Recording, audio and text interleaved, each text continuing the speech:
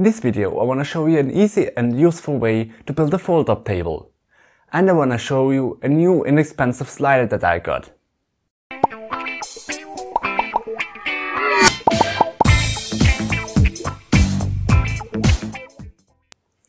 Originally I didn't want to make a video about either of those two things. But when I was building the table and after I had the slider for a few days, I decided that it might be good to make a video about it, because it could be interesting to you as well. So let's start with the table. Because my main desk is covered in tech and doesn't have any free space to do paperwork, I decided to get another table. But if you watch the video where I built my new setup, you probably know that there isn't a lot of space in my room. So I can't just put up another table and call it a day because there is simply no space to put it on the table. So that's why I decided to make a table that you can just fold down when you aren't using it, so it's out of the way. That way I can even make it close to the door where you can't open the door fully.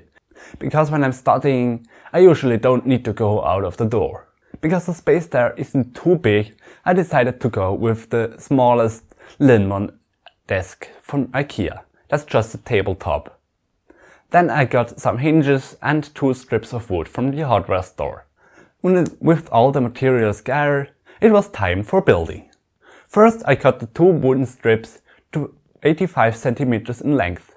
That way they are at a 45 degree angle to the wall.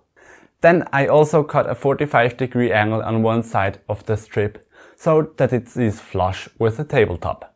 Then I painted the two wooden strips with the same color as the wall is, so it blends in nicely. Then I also drilled two 10mm holes in either side of the table, so I can later put in two rods where the legs connect to the table. Before attaching everything to the wall, I connected the hinges to the table and to the legs. Then it was time to connect it to the wall. There's where I also started filming. So enjoy!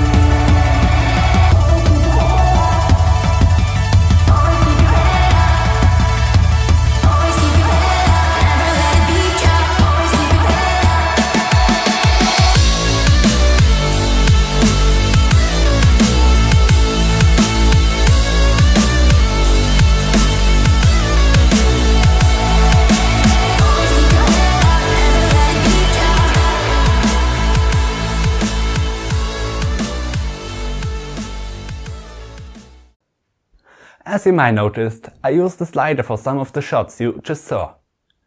This is my newest addition to the gear.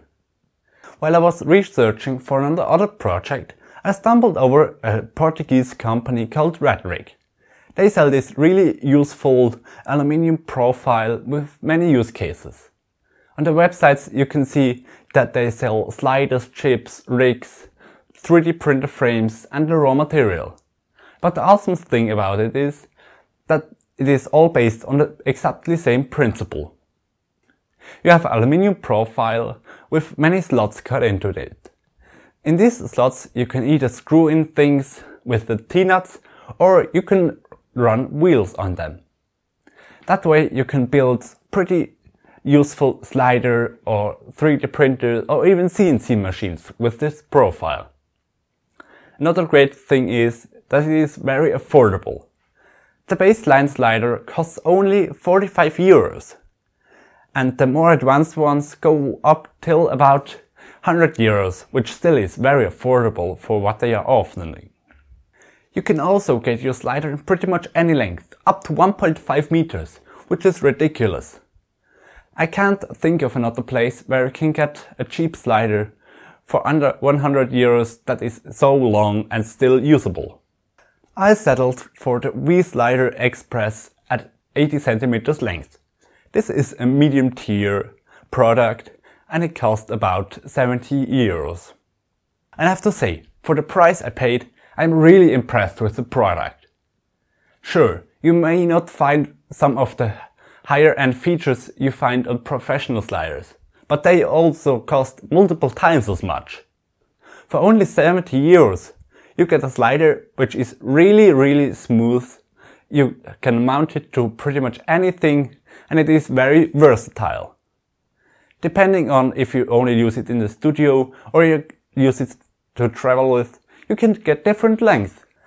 I really think that this is a great addition to my gear and you will certainly see it in many future videos. Now I have some more test shots for you.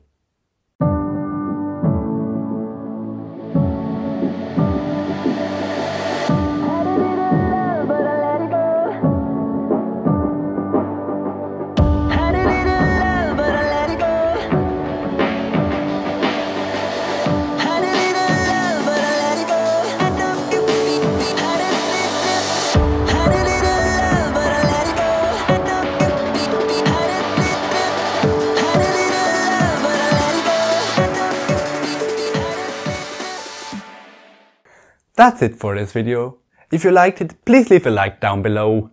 And don't forget to subscribe if you want to see more videos like this. Thank you for watching and until next time.